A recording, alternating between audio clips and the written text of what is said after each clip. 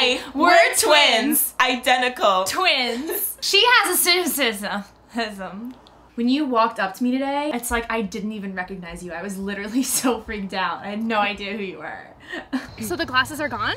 Yeah, I don't even have to wear them anymore. I'm so glad I have to wear those stupid glasses. We look so much more. Twinning! Finally, a new start. New school, new me. When we walked up to our friends today to show them her new look, they literally couldn't tell us apart. Wait, who's who? Did one of you cut your hair?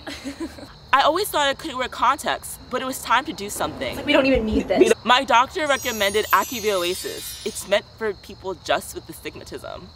Just for twins with astigmatism. Just for identical twins with astigmatism. Just for lower middle class twins whose dad just got laid off with astigmatism.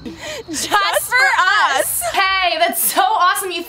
of that astigmatism. you keep saying it wrong. What does that even mean? It's just a big word for not seeing as sharply as you could. He said it was made from Hydraclear Plus. Now I can see everything perfectly. So you tell us which one has the astigmatism? For a free trial pair certificate, go to AcuvueTwins.com. Acuvue Oasis for Astigmatism.